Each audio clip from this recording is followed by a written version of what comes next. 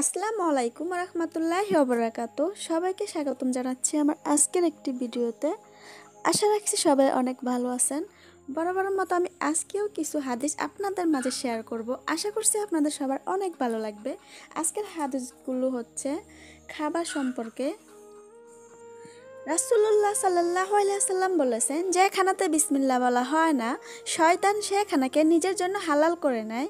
মুসলিম আবদুল্লাহ ইবনে ওমর রাদিয়াল্লাহু তালা রাসুল্লাহ সাল্লাহ সাল্লাম বলেছেন, তোমাদের কেহ যখন কিছু খায়, তখন সে যেন ডান হাতে খায়, আর যখন পান করে, যেন ডান হাতে পান করে। মুসলিম আবদুল্লাহ ইবনে ওমর রাদিয়াল্লাহ তাল্লাহ আনহু, নবী করিম সাল্লাহ সাল্লাম বলেছেন, আঙ্গুল ও খাদ্য পাত্র চেটে খাবে, খাদ্যের কোন অংশের মধ্যে বরকত আছে, নিশ্চয় তোমরা তা জানো না। মুসলিম যাবে রাদিয়াল্লাহ তালা আনহু। নবী করিম সাল্লাহ আলাইসাল্লাম কখনো কোনো খাদ্যের দোষ প্রকাশ করেন নাই।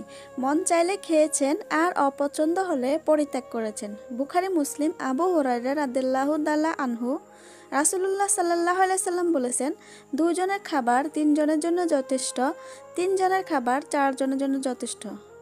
বুখারি, মুসলিম, আবু হরাইরা রাদিল্লাহ তালা আনহু রাসুল্লাহ সাল্লাহ সাল্লাম বলেছেন যে ব্যক্তি ভোরে ষাটটি আজোয়া খেজুর খাবে, তাকে সেদিন কোনো বিষ ও জাদুটোনা ক্ষতি করতে পারবে না। বুখারি, মুসলিম। সাদ রাজিয়াল্লাহ তালা আনহু। নবী করিম সাল্লাহ সাল্লাম বলেছেন, তোমরা তোমাদের খাদ্যদ্রব্যকে মেপে নাও, এতে তোমাদের জন্য বরকত দেওয়া হবে। বুখারি, মেঘদাম, ইবনে মাদি, কাবির রাদিয়াল্লাহ তালা আনহু। তিনি বলেন, আল্লাহর রসুল সাল্লাহ আলাইসাল্লাম ছিলেন সর্বশ্রেষ্ঠ দানশীল। রমজানে তিনি আরও অধিক দানশীল হতেন যখন জিব্রাইল আদম আলাহিসাল্লাম তার সঙ্গে সাক্ষাৎ করতেন আর রমজানের প্রতি রাতে জিব্রাইল আদম আলাহিসাল্লাম তার সাথে দেখা করতেন এবং তারা একে অপরকে কোরআন তেলাওয়াত করে শোনাতেন। নিশ্চয়ই আল্লাহর রসুল সাল্লাহ আলাইসাল্লাম রহমতের বায়ু অপেক্ষা অধিক দানশীল ছিলেন।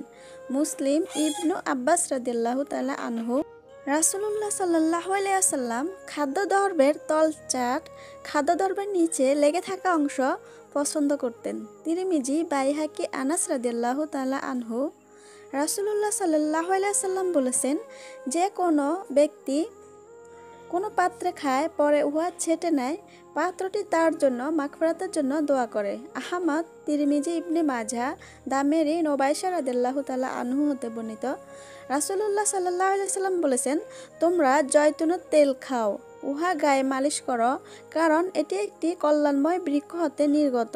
তিরমিজি, ইবনে মাঝা দামেরি, আবু উসাইদ, আনাস রাদিল্লাহ তালা আনহু।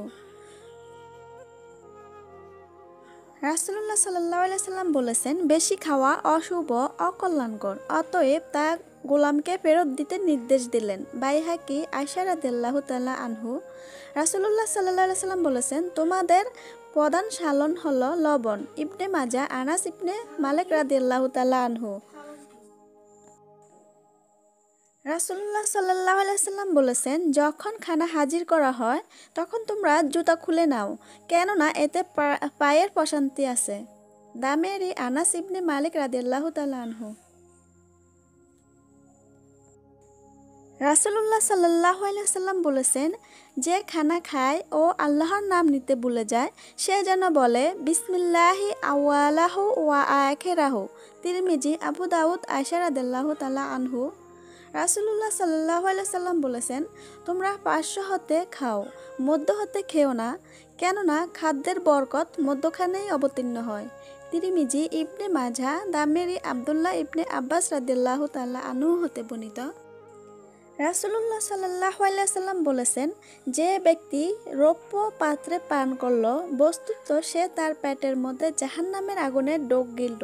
বুখারি, মুসলিম, উম্মে সালমা রাদিল্লাহ তাল্লাহ আনহু রাসুল্লাহ সাল্লাহ সাল্লাম বলেছেন, পেয়ালার ছিদ্র দিয়ে পানি পান করতে এবং পানীয় বস্তুতে পু দিতে নিষেধ করেছেন।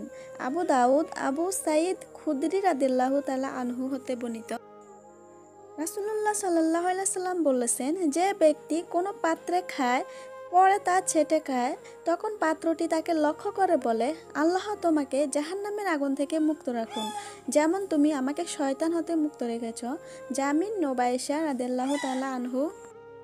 আল্লাহ